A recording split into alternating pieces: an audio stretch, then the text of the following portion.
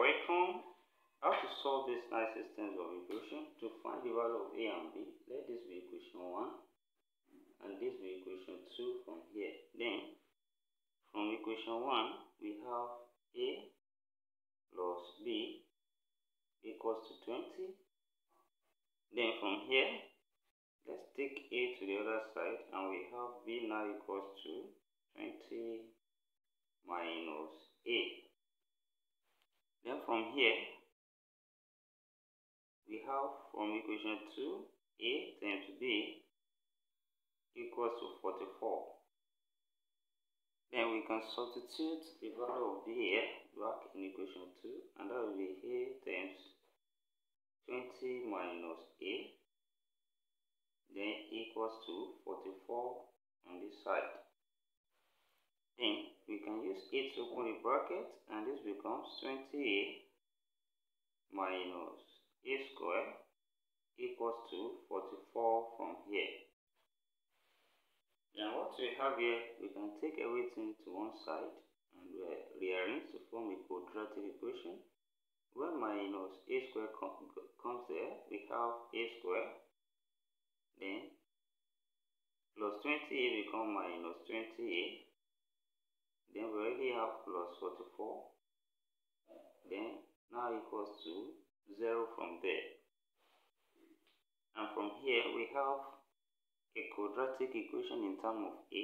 Then using the quadratic formula here a will now be equals to minus b plus or minus square root of b square minus 4ac over 2a here a in this formula the same thing as the coefficient of a square which is 1 and b here is coefficient of a which is minus 20 then c there is 44 then when we substitute here we have a now equals to minus minus 20 plus or minus square root of minus 20 square.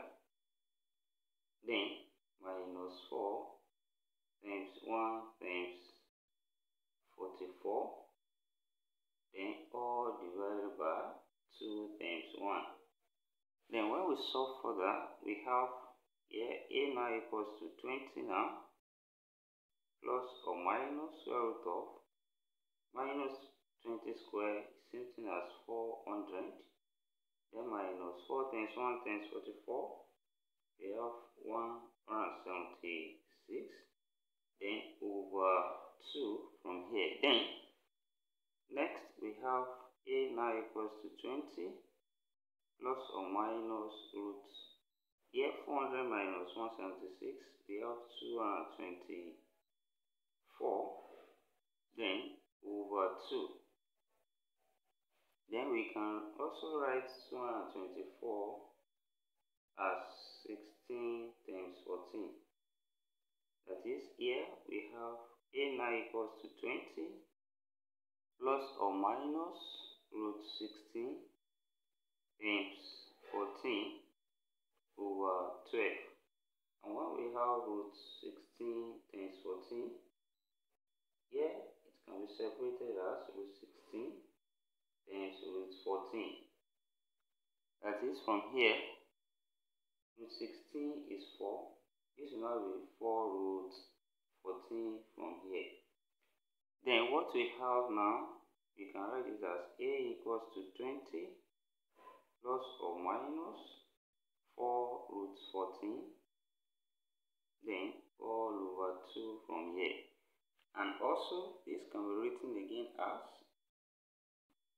a equals to 20 over 2 plus or minus 4 root 14 over 2. And from here, this becomes a equals to 10 plus or minus, here we have 2 now, root 14. So here we have two values for a. The first one we have a1 equals to 10 plus 2 root 14 then we have the second one, A2 equals to 10 minus 2 14. Then from here we can as well get the corresponding value of b using the relation we have which is b equals to 20 minus a. So when we use this from here then b1 then be equals to 20 minus a1 and uh, here a1 is 10 plus 2 root 14 then here we use minus to open this bracket and we have b1 now equals to 20 minus 10 a minus 10 is plus a minus root 2 root 14 then here b1 now equals to 20 minus 10 that's 10 minus 2 root 14 from here. Then the first set of solutions from here, which is a1 comma b1, this is then equals to a1 from here we have 10 plus 2 root 14,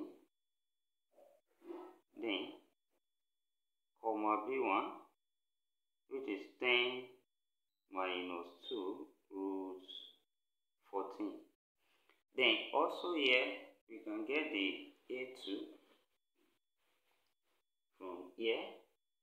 Then using this same relation that b2 now equals to 20 minus a2 which is 10 minus 2 root 14 here.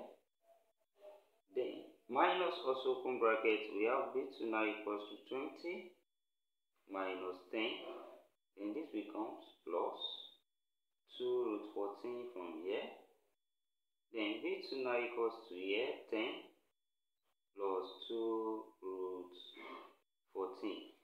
That is, from here, the second set of solution from here, which is a2,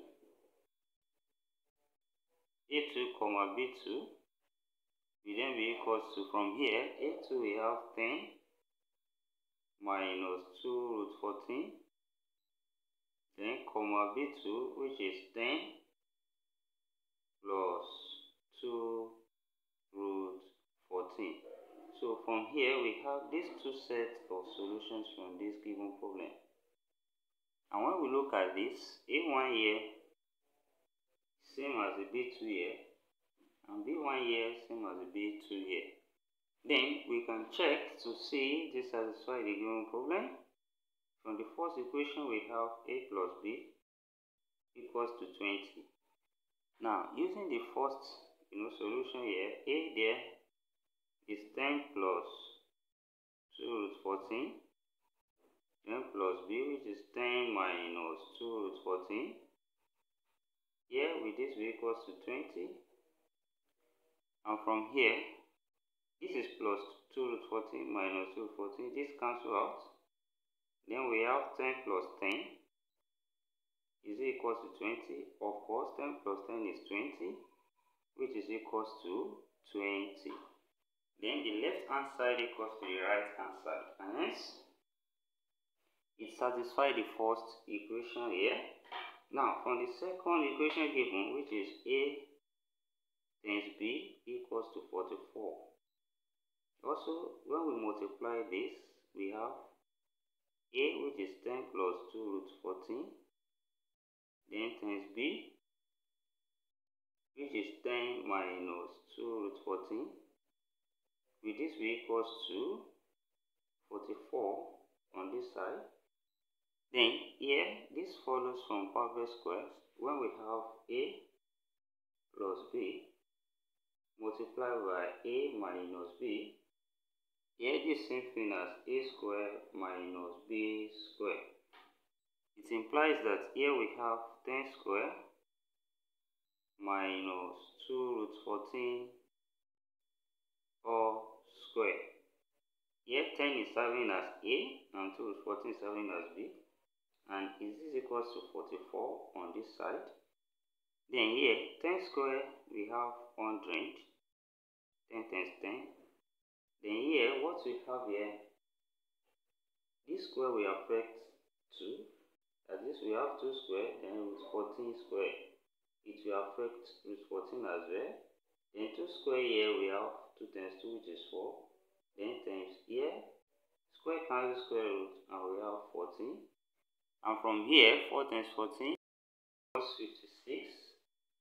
From here, that is, from here, what we have here is simply minus 56 and is equals to 44. Then 100 minus 56, of course, that's 44, which is equals to 44.